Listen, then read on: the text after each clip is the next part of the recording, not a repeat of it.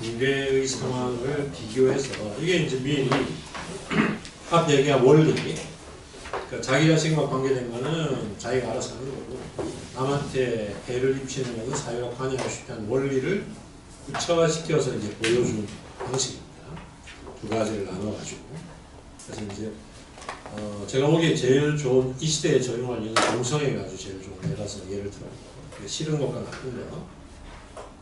그래서 A, B를 구분하시는 게 좋을 것 같고 그 다음부터는 이제 반론 자기의 그런 원리에 대한 반론을 검토합니다. 반론 두 가지를 검토하는데 171쪽의 여덟 번째 문단의 첫 번째 반론이 나오고 그 다음 문단의 두 번째 반론이 나옵니다. 171쪽 첫 번째 반론은 내가 이렇게 당사자에게만 문제가 되는 것과 다른 사람에게 관계되는 걸 구분했지만 많은 사람이 그 문제를 제기할 거다. 문제 제기의 내용이 뭐냐?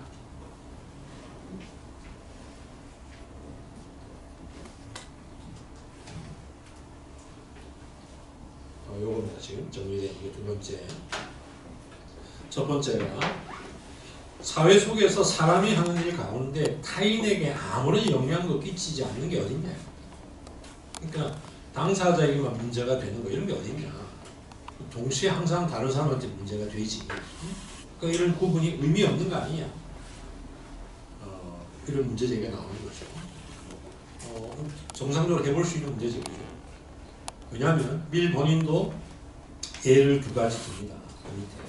첫 번째는 그래서 오직 자기 자신에게만 심각하게 또는 항구적으로 해를 끼치는 경우는 있을 수 없다.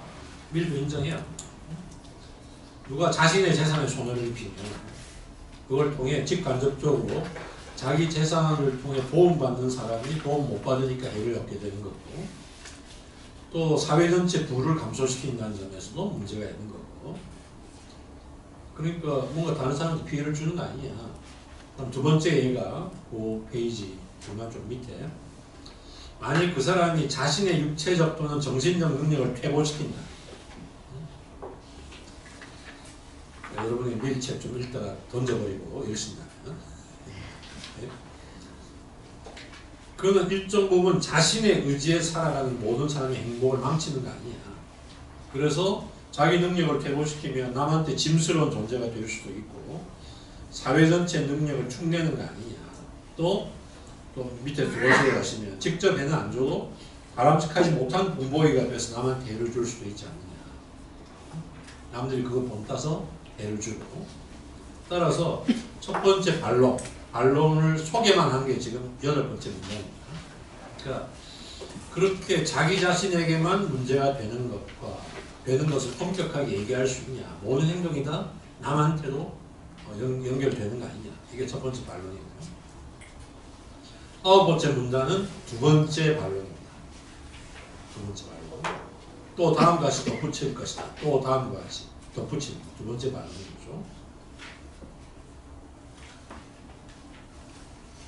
어, 뭐 잡담 빼버리면 그 문단 세 번째 줄에 스스로 잘 살아갈 능력이 분명히 모자라는 사람이 자기 자신에 대한 일도 모두 알아서 하도록 맡겨버려야 옳은 것인가.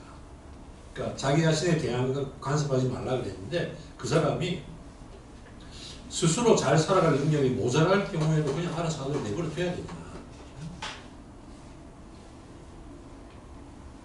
만일에 반론자들의 얘기죠. 어린아이들과 일정한 나이에 이르지 못한 사람일 경우는 본인들 의사에 상관없이 보호를 해줘야 된다면 나이가 들었지만 역시 스스로 살아갈 능력이 안 되는 사람도 사회가 관여해서 똑같이 보호를 해줘야 되지 않나요? 이게 보호라는 측면에서의 관여를 해석입니다. 어, 그 다음에 구체적인 예는 만일 도박이나 과음, 무절제나 게으름, 불결함 등으로 법이 그 법으로 금지하는 행위를 행위들만큼이나 요거 자체는 법관 어, 무절제 게으름 불결함이 법관 상관없지만 행복한 삶을 사는데 치명적인 방해 장애가 되고 개인의 발전에도 심각한 걸림돌이 된다면 이걸 사회가 법의 이름으로 단속해야 되지 않느냐. 하지 않을까 그게 안 되면 법이 불완전하면 법을 보완해줄 여론이라는 것이 최소한 이런 악에 대해 강력한 경찰 역할을 해서 엄격한 사회적 처벌, 법적 정치적 처벌은 아니지만 사회적 처벌, 뭔가 압력을 가하는 것 해야 마땅하지 않느냐 이런 문제제기가 나올 수 있다 이겁니다. 그리고 여러분이 아마 읽기, 읽으시기에 읽으신 분들은 좀 애매했던 게 그 다음이 좀 애매할 수 있어요. 그 다음이 그 다음 문단 마지막까지가 미일의 의견이야. 누구의 의견이냐. 왜냐면 그, 저, 그 다음 보시면요. 이 대목에서 개별성을 제약해서는 안 되고 삶에 대해 새롭고 독창의 실험을 하는 것을 차단해서 안 된다는 점을 새삼 강조할 필요는 없다. 미, 미일이 개별성 제시했는데 다만 한 가지 역사가 처음 시작된 이후 지금까지 사람들이 수타에 실험해보고 나서 나쁜 것으로 결론 난거 밝혀진 것은 금지하는 게 좋다. 그러니까 지금까지 실험을 거쳐서 확립된 것이라고 말할 수도 있고 말할 수 있을 것이다. 그러나 앞시에 조사하는데 치명적인 타격을 입힌 바로 그 절벽에서 후손들이 또다시 떨어진 일을 없도록 막는 게 당연히 필요하다. 그래서 후반부 얘기가 지금 번역본 어조를 보면 밀 얘기처럼 들릴 수도 있잖아요. 아직 밀 얘기가 아닙니다. 이렇게 앞에 말한 지금 여덟 번째 문장이 반론 1을 소개했다면 아홉 번째 문장은 반론 2를 소개하는 거예요. 반론 2의 내용이 나이는 들었지만 자기 자신 스스로 살아갈 능력이 안 되는 사람은 사회가 뭔가 간섭하고 보호해야 되지 않느냐. 이런 주장하는 하는 사람들의 전형적인 논리를 지금 여기 소개하는 겁니다. 그러니까 야, 그거는 이미 증명된 거니까 그 정도는 우리가 간섭해야지 안 그러면 또 실패를 반복해야 되는 거냐. 교수님 그럼 공로 저기 경로 우대 하는 게 여기 해당됩니까? 경로 우대요? 그거하고 좀 다를 것 같은데요. 왜냐면 경로 우대는 나이 든 사람이 스스로 살아갈 능력이 안 된다고 보고 보호한다기보다 약간의 특권을 주는. 약간의 약간의 특권을 주는 거기 때문에 이 정도에 해당된다면 경로 저도 5년 뒤에는 받아야 되니까 미리 알긴 알아야 되는데 경로 우대 내용이 어떻게 있습니까? 그 사회가 개인에게 줄 수 있는 권한의 한계라고 그러면 어떻게 경로 우대도 그런 게 아닌가요? 근데 경로우대는 본인이 싫으면 안 받으셔도 되잖아요. 아니, 나이 먹으면 자연히 주는 건데요. 예, 예. 신청 안 하면 아닐 거예요. 그리고 경로우대의 개념은 사실은 그 사람이 능력이 모자라서 준다라는 개념보다 그동안 사회를 위해 봉사했기 때문에 그 정도의 혜택을 준다. 그런 개념이 실제로는 경로우대 속에 있는 그러니까 예를 들면 예를 들어서 오늘날 건강 상태에서 65세 이상 되신 분이 그꼭 앉아서 가야만 될 정도로 허약한 사람이 대부분이냐? 그건 아니잖아요 사실. 그리고 지하철 요금 고 요금을 못 견디실 분도 있지만 또 많은 분들은 그 정도 요금은 충분히 지탱하실 분도 계신데 일률적으로 그렇게 하는 이유는 실제로 그분이 여기서 미리 말하는 컨셉처럼 그분이 여기 나오죠 나이가 들었지만 역시 스스로 살아갈 능력이 안 되는 사람이라는 컨셉보다는 그 세대 자체가 이제 사회를 위해 봉사하고 일을 다 하신 세대이기 때문에 사회 전체가 그 세대에는 이 정도의 의- 우대를 주는 것은 그거는 적정 이 정도 차원인 것 같고요. 아니 이렇게 생각하면 경로부대보다 독거 노인이나 그 세대 중에도 특정한 사람들한테만 특정 방식의 우대를 주는 방식 이게 오히려 지금 미리 여기 얘기하는 방식에 가까울 것 같습니다. 일반적인 경로부대는 여기 이거하고 좀 관련이 없을 것 같습니다. 네.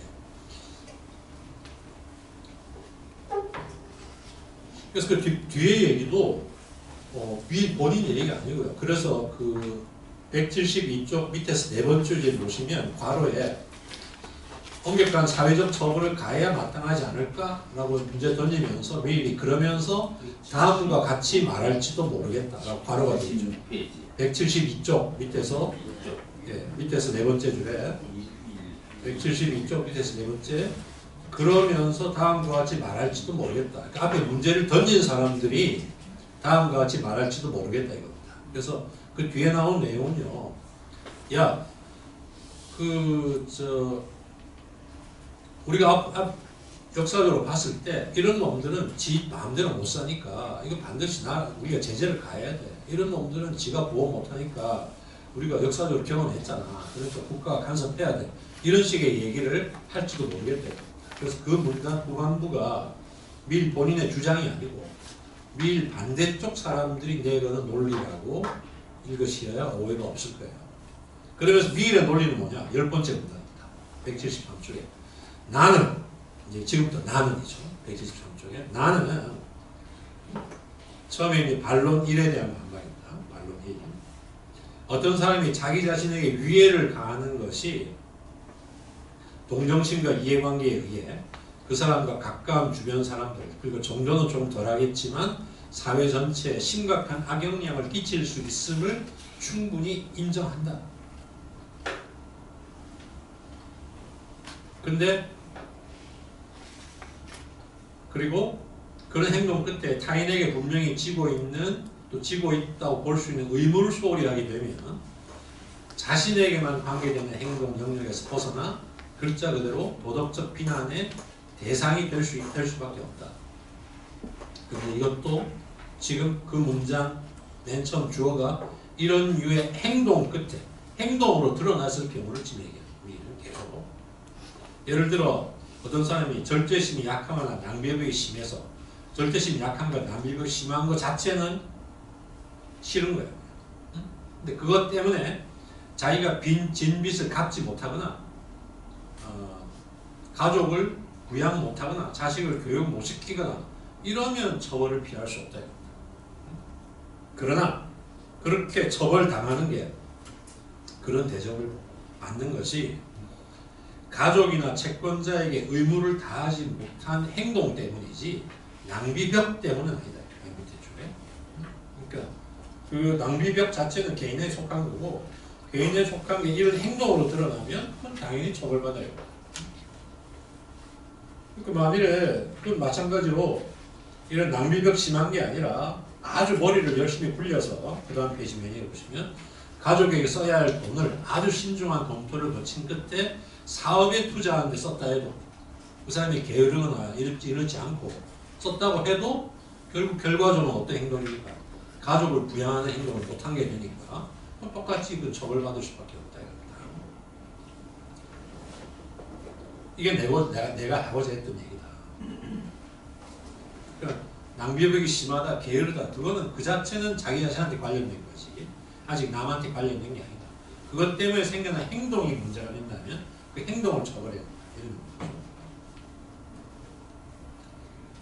어, 그 비슷한 게 또 위에서 여섯 번째 줄 보시면 나쁜 취미에 중독이 된 나머지 자기 가족에게 슬픔을 안겨주는 사람의 경우도 그 무정함과 배은망덕함에 대해 비난받아 마땅한데 도덕적 비난.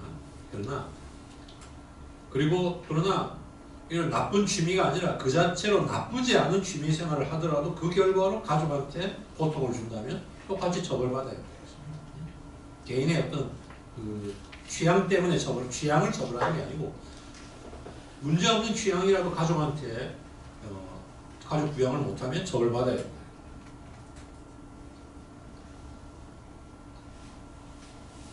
그러니까 결국 그 좀 두세 줄 밑에 오시면 다른 사람이 이익과 감정에 적절한 수준에서 관심을 보여야 하는데 타입은 뛰어넘어서 관심을 안 보이고 비난을 하게 되면 누구는 도덕 관심을 안 보이고 그래서 피해를 주게 되면 누구는 도덕적 비난, 도덕적 처벌을 받을 수 있다.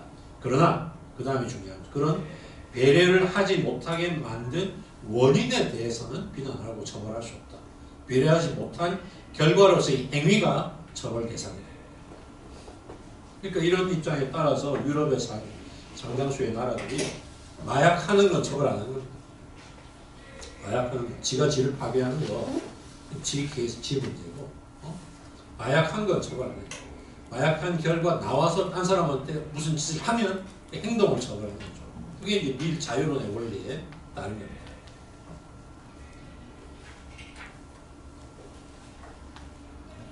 이 얘기를 한국에서 좀 이거를 주목해야 돼요. 한국에. 왜냐하면 우리나라 지금 문제가 뭐냐면 이전보다 어, 지배 시스템 전체에서의 이념적 색채는 줄어들었지만 이제 본인들 사이의 이념적 성향이 그 전면, 그러니까 좌파, 좌파인 사람이 우파, 우파인 사람이 좌파를 자기하고 다르다고 나쁜 놈이었어요. 아니 우파라고 나쁜 사람이고 좌파라고 나쁜 사람이 아니잖아. 그 정치적 성향의 차이잖아. 그럼 좌파는 우파가 싫고 우파는 좌파가 싫을 수 있죠. 그렇다고 우파 성향을 가진다고 다 나쁜 놈이고 좌파 성향을 다 나쁜 놈이야. 좌파 성향을 사람이 어떤 나쁜 일을 하면 걔는 좌파기 때문에 그렇다. 이게 잘못된 비판이야. 우파의 사람이 어떤 나쁜 짓을 하면 걔는 우파이기 때문에 그렇다. 그건 나, 잘못된 생각이야. 그 지금 미리 비판한 거 똑같아요. 걔가 낭비벽이 있다. 싫죠. 하지만 모든 문제를 흘러 돌릴 수 없는. 응? 그건 도덕적으로 처벌할 대상이 아니에요.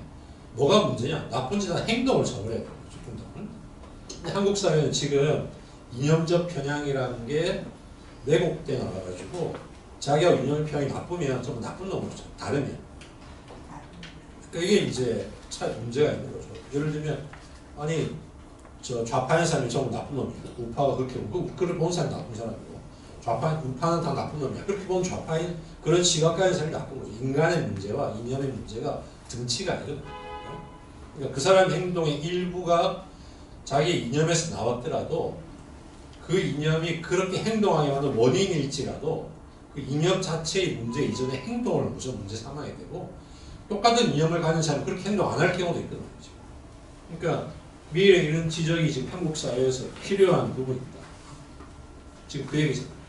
그런 배려를 하지 못하게 만든 원인에 대해서는 비난할 수 없다.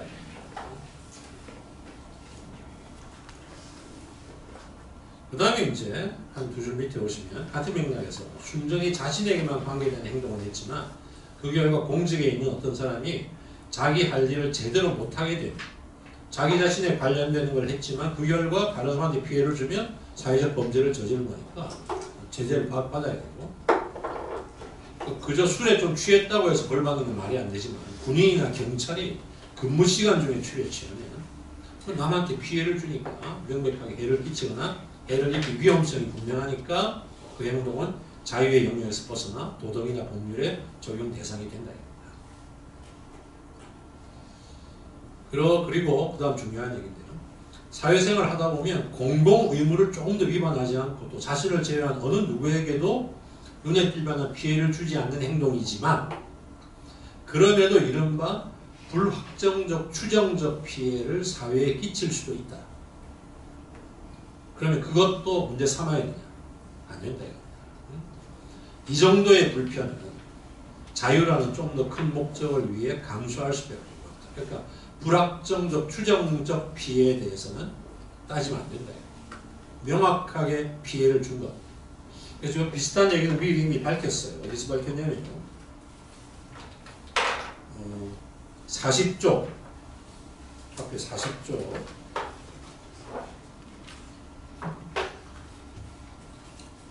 40쪽 12번째 문단에 보시면 40쪽 위에 세 번째로 시작되는 문단 보시면요. 그 40쪽 문단의 중간쯤에 보면요. 그 문단 시작하는 데서부터 여섯 번째 줄이죠. 여기에서 단지 본인에게만 지금 뭐냐면 본인에게만 해당되는 건 사회가 하수가 맞는다 얘기인데 본인에게만이라고 말하는 것은 어떤 행위가 낳는 최초의 직접적 결과를 염두에 둡니다. 왜냐하면 그 사람에게 영향을 주는 것은 무엇이든 본인을 통해 다른 사람들에게도 영향을 줄 수 있기 때문이다. 이런 우연한 기회를 통해 생긴 결과에 대해서는 따로 고려해야 될 것이지 이걸 생각해서는 안 된다. 이게 지금 여기서 말하는 불확, 불확정적 추정적 피해와 관련되는 거죠. 지금. 그러니까 직접적으로 영향을 주고 우리가 저 논리학에서 어떤 게 있냐면요. 원인 확대 여부라는 게 있습니다. 원인 확대. 어떤 게 있냐면 혹시 여기 흡연 하시는 분 흡연이 죄가 아닌데 다음에 예, 저 흡연하시는 분한테 제가 암 걸리고 싶으신 거죠. 말이 됩니까? 이게 말이죠. 말이 돼. 맞습니다. 말이 안 돼. 예, 이게 물론 객관적으로는 흡연과 암 사이에 인과관계가 상당히 있는 걸로 의학이 주장해서 있습니다. 하지만 그러니까 원인 결과의 관계가 객관적으로 있다고 해서 원인은 대부분은 왜 이 원인이 되는 걸 추구하느냐? 이 결과를 얻기 위해 추구하는 거죠. 하지만 항상 그런 게 아니에요. 안 그런 경우도 있죠. 그러니까 흡연을 하고 싶다고 해서 암 걸리고 싶어 한다. 이렇게 얘기하면 의도 확대하는 거죠. 의도 확대. 그러니까 이게 그 의도를 잘못 해석하게 되면 이제 사실 복잡한 문제가 생겨요. 의도를 확대해서 해석하는. 그러니까 미일 얘기는 미일은 사실은 경험 경험주의자고 실증주의자의 전통이니까 실제로 드러난 행동만 가지고 얘기를 해요. 행동. 설사 원인의 어떤 특성이 있더라도 제재는 행동만 가지고 해야 되고 교육은 원인 원인은 교육의 대상이에요. 그래서 만약에 게을러서 나쁜 행동을 했으면 나쁜 행동한 것을 사회가 제재하고 게으른 걸 벌 줄 게 아니고 뭐 해야 되냐? 교육을 시켜요. 어? 그러면 안 되지. 그렇게 설득하고 교육시키고 그 교육의 대상이지 제재의 대상이 아닌 거죠. 이제. 그렇게 이제 구분하려고 하는 거예요. 가만히 있자는 얘기는 아니고 설득하고 교육하고 하자는 얘기죠.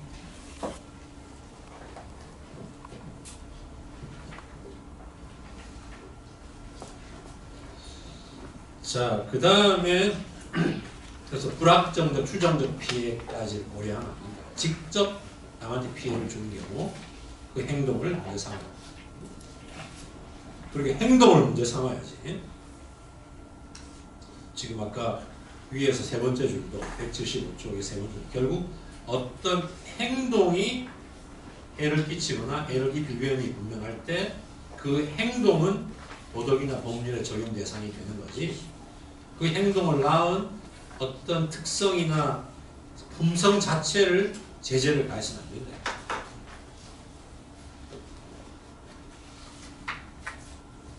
그 다음에 지금 읽은 어느 정도의 불편, 이 정도의 불편 얘기로부터 한 대여섯 줄 밑에 가면 이제 반론 2에 대한 나옵니다.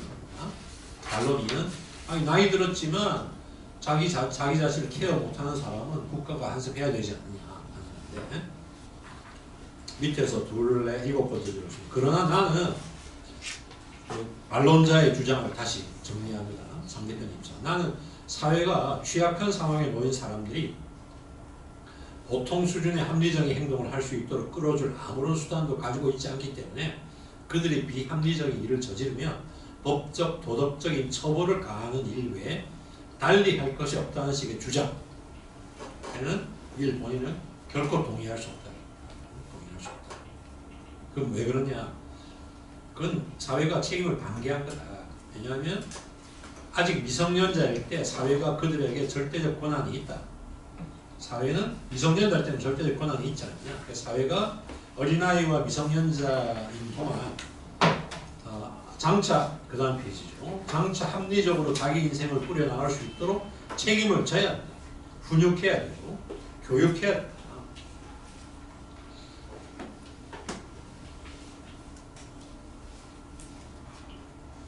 그래서 그 책임지는 방식이 그 페이지 중간쯤에 보시면 적지 않은 수의 구성원들이 장기적인 계획 아래 합리적으로 행동하지 않고 그저 어린아이들처럼 산다면 이런 일에는 사회가 책임져야 하는데 그거는 제재를 가는 게 아니고 사회는 구성원들을 교육하는 힘도 있고 또 다수 의견을 내세워서 자기 스스로 판단 능력이 없는 사람들을 압박을 하는 여론으로 감시하고 압박하는 힘도 있고 또 뭔가 자기 품성 때문에 불쾌감, 경멸감을 불러일으키는 사람한테 그, 그 대가를 치르게 하는 그 압박하는 힘도 있다. 그러니까 이 이런 걸로 하면 되지.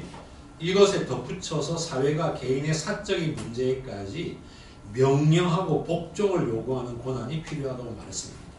법으로 다스리면 안 된다.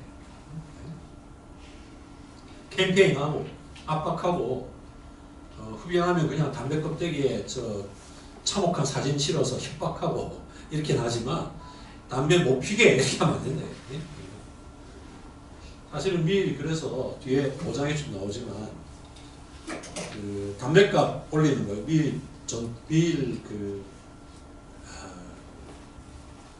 전략에서는 사실 반대하는 입장, 자유주의 입장. 조금 올리는 괜찮아요.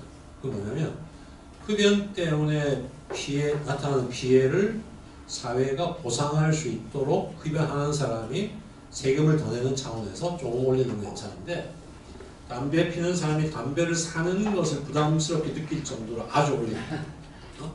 이거는 이제 미의 입장에서 안 되는 거죠. 그건 개봉이 아니다. 그건 여기서 말하는 그 마지막에 명령하고 복종을 요구하는 권한에 해당되는 거라서 그렇게 하면 안 된다. 그렇게 좀 생각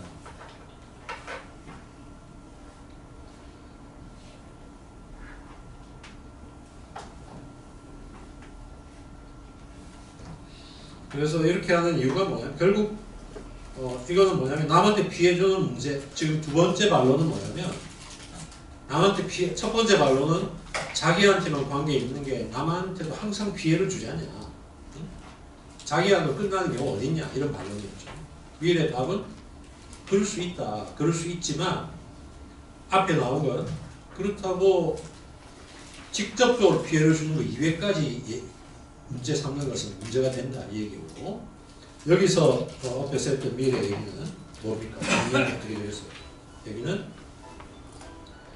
어, 행동 그렇게 피해를 주는 행동의 경우에 문제를 삼아야 되는 거지 행동으로 드러나지 않는 어떤 개인적인 특성에까지 문제를 삼으면 안 된다 이렇게 얘기한 셈인 거죠.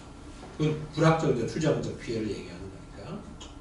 그다음에 두 번째는 남한테 피해를 주는 문제가 아니고 본인이 스스로 자기 자신의 문제를 관리할 능력이 없는 사람 이 사람 국가가 간섭해야 되지 않느냐 하는 문제에 대해서 법으로 제재하고 법으로 복종시켜야 되지 않느냐 넌 이렇게 해. 이 일은 안 된다 이거야. 어? 그러니까 그 사람을 국가가 관여는 저 뭔가 도움을 줘야 되는데 교육하는 방식으로 도움을 줘야지 그리고 교육이 아니면 캠페인을 통해서 좀 저 압력을 준다든지 이런 건 가능한데 하지만 말하는 명령하고 복종을 요구하는 권한 이건 없다. 어? 법으로 강제하면 안 된다. 그 문제를 미리 제기하는 거죠. 미래 입장입니다. 두 반론에 대한 미래 반박이고요. 그 다음에 178조 독립적으로 나온 얘기인데요. 12번이 중요한 얘기입니다. 그러나 사회가 순전히 개인된 개인적인 행동에 간섭해서는 안 되는 가장 중요한? 그러면 앞에 말한 건 간섭하면 안 된다는 얘기잖아요. 안 된다는 원칙만 얘기했잖아요. 원칙의 근거가 뭐야 도대체? 왜 자기 자신의 관계된 일을 사회가 간섭하면 안 되냐? 근거가 뭐냐? 가장 중요한 근거는 뭐냐? 미래 주장은 그것은 그런 간섭은 잘못된 방법으로 잘못된 곳에서 일어날 가능성이 크기 때문이다. 뭐냐면 사적인 문제는 개인이 제일 잘 아는 문제인데 그걸 잘 모르는 남들이 간섭하면 잘못된 간섭이 일어날 가능성이 높다. 사회윤리나 타인의, 의- 타인의 의무 같은 그렇고 어, 사회윤리, 사회 전체 윤리 일반적인 타인에 대한 의무 같은 문제는 공공 여론, 즉 압도적 다수의 의견이 가끔 틀리긴 하지만 옳을 때가 더 많다. 뭐냐면 모두의 모두와 관련된 문제고 각자가 나한테 어떤 영향을 끼칠지를 생각해서 그 각자의 의견이 모으면 되니까 그런데 그 지금 한 중간쯤 오시면요 같은 다수 의견이라 해도 소수의 사람들에게만 관계되는 행동에 대해 하나의 법으로 분림하는 의견은 옳을 때도 없는 건 아니지만 틀리는 경우도 많다. 왜냐? 공공 여론은 기껏해야 다른 사람에게 좋고 나쁜 것에 대한 일부 사람들의 생각이고 실제 대부분은 아무런 관심도 없는 사람들의 쾌락이나 편의에 대해 그저 자신들의 기분에 따라 다수가 판단하는 거기 때문에 이들 가운데 많은 사람들이 자기가 좋아하지 않는 행동은 전부 자신에게 피해를 주는 걸 생각해서 극단적인 거부감을 숨기지 않는다. 어? 뭐 이- 충분히 예를 들면 사회 일반적인 문제는 다수가 해당되는 문제는 다수의 의견을 따르는 것부터 해보죠. 왜냐면 다수가 해당되는 문제는 다수가 다 당사자니까 뭐가 구체적으로 피해가 되고 문제가 되는지 아니까 다수의 의견을 따르면 되는데 소수에 대한 어떤 규칙을 정할 때는 다수의 의견을 따르면 잘못된 게 있다. 왜? 아니 소수가 소수의 사정을 모르는 사람들이 정하는데 어떻게 맞는 규칙이 생기겠냐. 그리고 더군다나 다수는 자기들이 불편하면 안 좋은 거라고 얘기하게 되니까 소수의 권리 생각 안 하고 다수가 불편하면 딱 막자고 나오게 되니까 따라서 소수 소수 또는 각자 자기 자신 개인에 대한 문제는 개인이 결정해야지 다수가 개인의 문제를 결정하면 잘못된 결정을 할 수밖에 없다. 그게 이제 미래 어, 제시한 중요한 근거입니다. 재미있는 표현이 179조에 가면 네 번째 절, 각 개인의 취향은 의견이나 지갑과 마찬가지로 각자 고유의 관심사다. 지갑은 각자 고유의 관심사다. 아닌 것 같은데 다른 사람 지갑에 관심이 많은 것 같은데 하여튼 그래서 어, 한 대여섯 쯤 밑에 오시면요 사회가 개인의 행동에 간섭하게 되면 그 사람이 사회의 주류와 다르게 행동하고 다른 감정을 품는 사실에 대한 다른 사람 사- 다수의 격렬한 분노 때문에 자기 나름의 생각, 다른 생각을 할 여지가 거의 없게 되는 거죠. 그리고 도덕주의자나 사변적인 저술가들도 사실은 뭐냐 종교와 철학의 명령인 것처럼 하지만 실제로는 자기들이 옳다고 생각하면 옳은 실- 객관적으로 옳은 것이라고 가르치기 때문에 문제가 된다. 그래서 내 개인과 관련된 문제를 남이 어떻게 더 정확히 알겠느냐. 그러니까 각자 개인의 문제는 개인이 판단해야 된다. 남한테 피해를 줄 때는 그것만 관여하면 된다. 그게 이제 어, 그 미래 얘기입니다. 이 비슷한 논- 요런 논리가 좀 극단화되면요.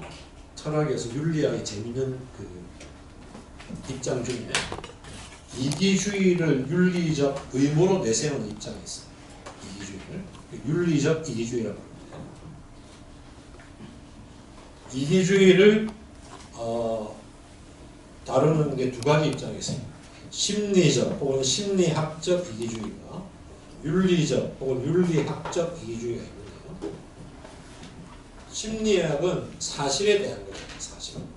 이건 뭐냐면 사람들이 도덕적이다, 이타적이다 부르는 것도 사실 따지고 보면 다 지를 위해 하는 거다. 이게 심리학적 이기주의입니다.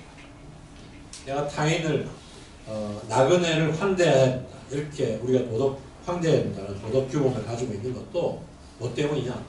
내가 나그네로 됐을 때를 생각해서 만들어 놓은 거다. 이웃을 사랑하라, 네 몸같이 사랑하라 이런 규범이 왜 나오느냐? 지가 힘들 때 이웃이 나를 사랑해 줘야 되니까 나온 거다. 따라서 어, 모든 도덕 규범이 사실은 그 자체가 옳은 것이라서 주장하는 것처럼 보이지만 실제로는 자기 이익을 위해서 합의된 거다. 이렇게 주장하는 게 심리학적 이기주의입니다. 어? 이기- 이기주의. 홉스가 대표적인 보이죠. 토마스 홉스가. 윤리학적 이기주의 안 그럼 더 나가서 이기적으로 행위하라. 이게 의무다. 이렇게 주장합니다. 이기적으로 행위한다. 남을 고려하면 안 된다. 이겁니다. 이제 그 중요한 논거 중에 하나가 지금 미리 이 얘기를 거예요. 왜 이타적 행동하면 안 되냐? 남한테 진짜 이익이 되는 게 뭔지를 내가 어떻게 아느냐? 나는 이타적으로 행동한다지만 그 사람한테 좋다는 보장이 없어서 피해도 줄 수 있으니까 무책임한 행동이다. 너 중심의 행동이다. 어? 네가 보기에 그 사람한테 이익 뺀다고 하는 행위를 하는 거지 실제로 그 사람한테 이익 빼는 걸 한다는 보장이 어디냐? 너 그럴 자신 있냐? 인간의 한계가 있는데 그러면 인간은 분명히 인지할 수 있는 건 나한테 뭐가 이익이 되는지는 분명히 인지할 수 있으니까 그거는 자기가 책임지는 게 도덕적으로 올바른 거다. 따라서 어떤 게 도덕적으로 올바른 입장이냐? 내 이익을 책임 있게 추구하는 게 도덕적으로 올바른 입장이지 남의 이익 운운하는 거는 그거는 잘못된 거다. 이게 윤리학적 이기주의입니다. 물론 다른 입장, 다른 근거도 있는데 근데 방금 한 윤리학적 이기주의의 근거는 미래 방금 요 얘기를 확대시킨 거죠. 확대시킨 거. 직권은 지밖에 모르는데 지, 지 문제는 지만이 판단할 수 있는데 그 지가 알아서 해야 될 거 아니에요. 그게 도덕의 유일한 의무다 이렇게 지금 얘기하는 거죠. 자, 그 다음에는 이제 어, 180쪽부터 쭉 나오는 거는요. 제가 설명을 길게 안 할 건데요. 왜냐하면 자 그런데 실제로는 앞에 내가 이런 그 원리를 얘기했는데 현실은 어떠느냐? 이 원칙이 왜 중요하냐 하면 13번째 문장은 180쪽 어, 위에서 둘, 넷, 여섯, 한 일곱 번째 줄을 보시면요. 내가 주장하는 원칙이 중요하고 시적절할 뿐만 아니라 없는 문제를 상상 속에서 만들어내어 분란을 일으킨 것이 아님을 입증하는 신뢰를 보여주겠다. 오늘날 일반적으로 규찰대라고 번역했는데 영어로는 moral police죠. moral. 지금 moral police니까 도덕을 감시하고 제재하는 규칙이죠. 모랄. 그러니까 이 말은 사실은 개인한테만 관계된 일인데 도덕이란 이름을 내세워서 그걸 제재하고 그걸 강제하는 그런 현상. 그 moral police라고 지금 어, 그 규찰대라는 번역만으로 그 어감이 잘 살아나지 않습니다. moral police라는 것이 누구도 부인하지 못할 개인의 자유까지 침범하면서 활동 영역을 확대하는 경우가 아주 흔하다. 어? 그러니까 다수가 자기들이 싫어하니까 그걸 나쁜 걸로 몰아서 어, 강제하는 그게 이제 moral police가 되는 거죠. 대표적으로 첫 번째 나오는 게 이제 그 어, 돼지고기. 이거는 밑에 세 번째 음식 문화에 지나지 않는데 문화니까 취향에 음식 문화에 지나지 않는데 그걸 계율로 만들고 법으로 만들어서 어, 증오를 부채질하고 억압하는 거. 이거 이거 그야말로 취향에 불과한 음식 문화를 법, 법과 도덕으로 만들어서 강제하는 모랄 폴리스다. 혹시 돼지고기 안 드시는 분 있으세요? 없어서 못 먹죠. 우리나라 돼지고기 많이 먹어야 되는데 세계에서 돼지고기가 싼 나라 중에 하나지 않습니까? 소고기하고 비교해서 우리는 저 이 문화와 달리 돼, 그, 이 문화 비슷합니다. 돼지 전시 문화입니다. 싸잖아요. 그 요 부분 재밌는 게 그래서 인류학자들이 왜 구약이나 코란에서 돼지고기를 먹지 말라고 할까에 대한 그것도 문화인류학자들이 설명할 재미있는 거리 중에 하나였어요. 그래서 이제 그 지중해 많이 나와 있는 마빈 해리스라는 유명한 인류학자가 쓴 책, 음식 문화의 수사 이런 데 보면은 어, 역시 그 사람은 이제 굉장히 합리적으로 해석하려고 합니다. 응? 왜 그러느냐? 이게 다 사막 기후에서 나온 거기 때문에 소, 양, 염소 이거 다 먹어도 되거든요. 굽이 이 굽이 어느 게 갈라진 거죠. 무식해가지고. 그건 다 근데 돼지는 먹지 말라. 왜 그러냐? 소, 양, 염소 뭐 이런 것들은 말 말은 아니고 소양 염소는 이게 되새김질을 하기 때문에 인간하고 식량이 겹치지 않는데 돼지는 되새김질 안 하니까 얘의 사료는 인간이 먹을 걸 먹여야 안 그래도 곡물이 부족한 식, 곡물과 식물이 부족한 사막 기후에서 돼지는 인간의 생존에 불리한 거예요. 왜냐면 소양 저 염소는 그냥 거친 풀 씹어 먹고 넣었다가 웩해서 또 씹었다가 놓고 그러니까 근데 돼지는 인간이 먹을 걸 먹여야 되니까 인간 생존 위협한 거죠. 거기다 얻는 건 소양 염소는 젖도 주고 고기만 아니라 젖도 주고 가죽도 주고 그러고 여러분 돼지 젖 드세요. 돼지 그러니까 주는 것도 별로 없대요. 거기다 돼지는 땀샘이 없어가지고 왜 이렇게 돼지가 더러워 보이는 게 짖는 게 막 진탕이 비비잖아요. 땀샘이 없으니까 체온 증발이 안 되기 때문에 물을 묻혀서 기화시켜가지고 이게 체온을 유지하는가 비빈단 말이에요. 그러니까 사막에 더더 불리한 거죠. 그러니까 이게 사막에 생존에 불리한 동물이었기 때문에 금기가 생겼다 이렇게 해석하는 방식이 있죠. 어, 그래서 어쨌든 이건 음식 문화에 불과하는데 도덕적 법적 금기로 하는 거 모랄 폴리스다. 그 다음에 182쪽의 두 번째 가면은 음, 스페인 사람 얘기를 꺼내면서 사제 결혼 문제, 사제 결혼 문제도 사실 그에 해당됩니다.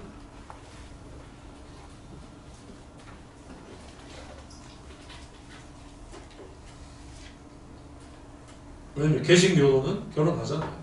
응? 결혼하니까. 그 다음에 183쪽에 보면 영국인, 영국인은 그러면 그런 거 없냐? 영국인도 있다. 하면서 청교도 문화, 청교도 183쪽 중간에 보시면 청교도들이 권력을 완전히 장악한. 미국의 뉴잉글랜드, 공화국시 이런 것처럼 공공 오락 시설, 나아가 모든 개인적인 오락까지 없애버리려고 광분했으며 특히 음악과 춤, 단체 놀이, 그 밖에 기분 풀이를 위한 군중 집회, 그리고 극장이 그 대상이고 이걸 다 죄로 놓는 거죠. 그래서 오늘날까지도 도덕과 종교적인 이유를 내세워서 이런 종류의 유의를 완강히 거부하는 사람들이 있다. 그 사람들이 권력을 장악해서 어, 이런 걸 문제시하고 있다.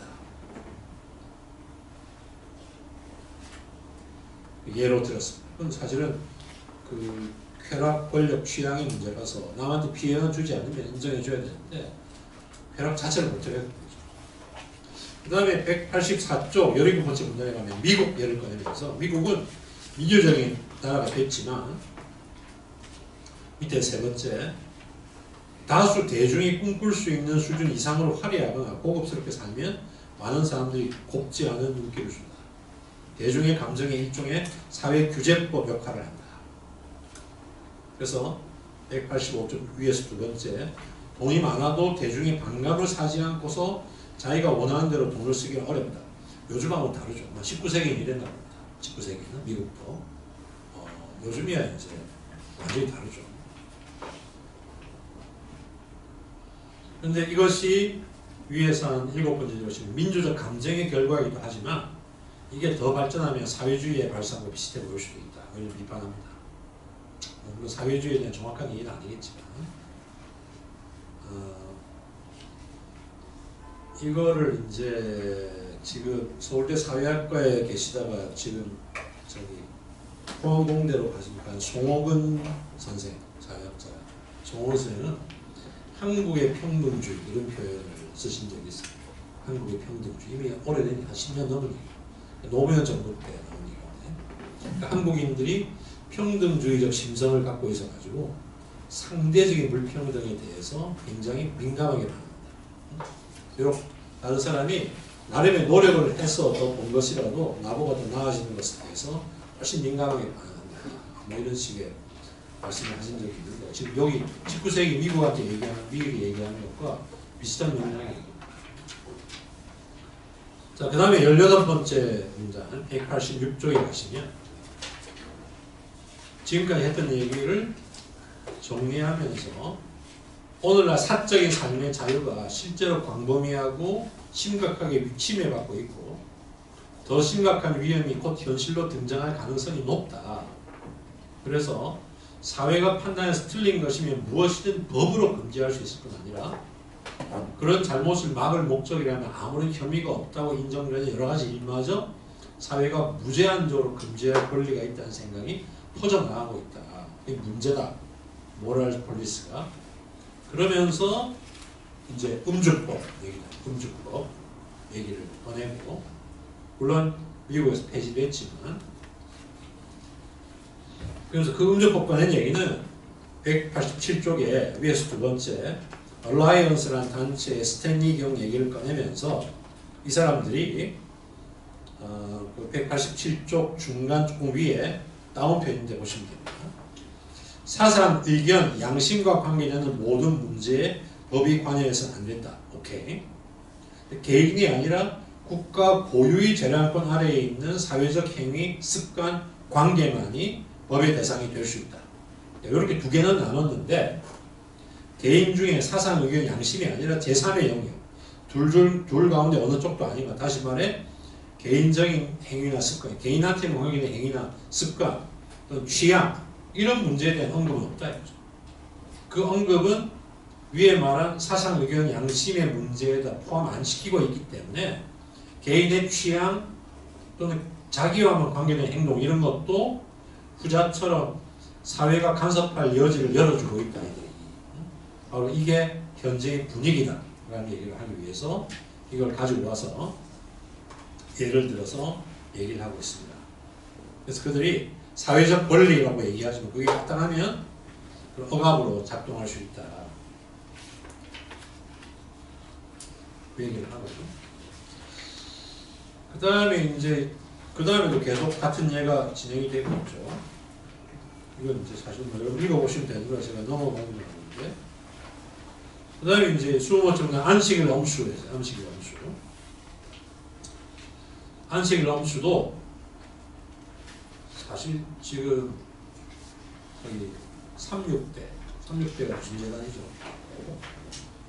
그 36대가 무슨 그 재단 이름은 제가 모르겠는데 종교 교파 그 요가 아닙니다. 네. 그게 굉장히 안식일을 중시하는 거거든요. 그 토요일은 절대 하면 안 돼요. 토요일이 안식일 원래 성서였다. 그래서 36대 교수분들은요. 토요일을 학회하는데 학회를 못 오세요. 대부분 토요일을 많이 하잖아요. 학회를 못. 그래서 그한 36대는 꼭 학, 학회를 금요일 합니다.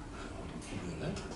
그리고 행사도 금요일 행사하면 오지. 토요일 학회는 나가면 안 됩니다. 교수가. 아주 엄격하게. 그 안식일 엄수가 진짜 따르려면 토요일 날 쉬어야 되거든요. 근데 그 안식일 엄수도 미리 보기에는 그 사실 그걸 그런 계율로 강제하는 것은 문제가 있다. 원래 의도가 뭐냐면 일주일에 한 번 일상적인 근로에서 벗어나 휴식을 취하는 거예요. 특히나 그 밑에는 산업 근로자들 필요한 거죠. 또 좀 더 밑에 좀 더 가면 자영업 종사하는 분도 자신의 여가 시간을 얻기 위해서 필요한 거거든요. 어, 그래서 이게 안식일에 안 논다고 어, 처벌할 수 있느냐. 그건 좀 이상한 거다. 이 얘기를 그 다음에 21번째 문장은 몰몬교 몰몬교는 뭡니까? 일부 다처제 일부 다처제 일부 다처제는 이건 상당히 굉장히 어, 당시로 보면 중요한 거죠. 왜냐면 일부 일체제가 기독교 도덕의 핵심이거든요. 일부 일체제. 우리가 기독교 도- 서양의 중세 이후에 기독교 도덕 할 때의 핵심이 세 가지입니다. 성, 결혼과 관련된 기독교 도덕 핵심. 첫 번째가 일부 일체제입니다. 일부 일체제 벗어나면 다 부도덕합니다. 주옥을 세 개. 두 번째 성인, 애덜트 성인들만 성에 접근해야지 미성년자가 성에 접근하면 죄악입니다. 세 번째 이성애자가 정상이지 동성애는 부도덕합니다. 그래서 서양의 기독교적 성결혼의 모델은 이성애자인 성인들의 일부 일처제 이거 벗어나면 다 부도덕합니다. 근데 몰몬교는 일부 다처제는 여기 벗어나는 거죠. 그러니까 이제 그 계율로 따지면 문제가 되는데 사회가 과연 이거를 어떻게 해야 되냐 할 때 미일은 야, 이것도 모랄 폴리스다라고 얘기를 해요. 근데 이제 이게 맨 마지막에 하는 얘기가 이게 제일 좀 강한 얘기니까 지금. 그러니까 몰몬교가 일부 다처제를 용인하는데 이걸 과연 어떻게 해야 되냐?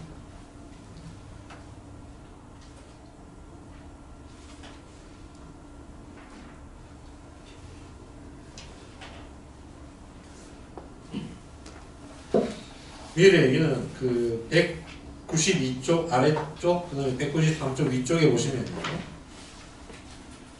근데 문제는 몰몬교에는 몰몬교 제도에 대해서 비판 본인이 비판하는데 어, 왜 비판하냐? 그게 만일에 190쪽 위에서 조금 중간부터 인간 사회의 절반에 해당되는 사람들에게 쇠사슬을 덮어 씌우면서 나머지 절반은 상대방에 대해 져야 하는 의무에서 해방시켜 준다는 것은 자유의 원칙을 위배하기 때문에 용납할 수는 없는데 몰몬교 경우는 좀 사정이 다르다. 왜? 몰몬교는 그런 이런 제도의 희생자라고 볼 수 있을 문제의 여자들이 다른 사람들이 다른 결혼 제도를 받아들이듯이 그것을 자발적으로 선택하고 있다는 사실을 기억하지 안 된다.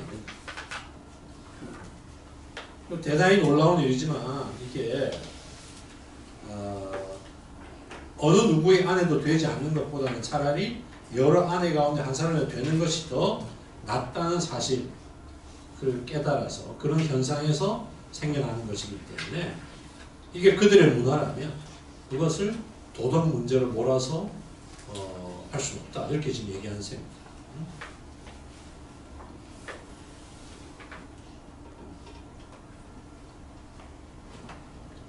그래서 뒷부분을 가시면요.